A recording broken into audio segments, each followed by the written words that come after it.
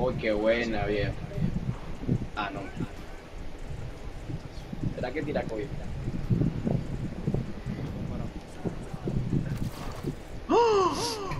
¡Oh!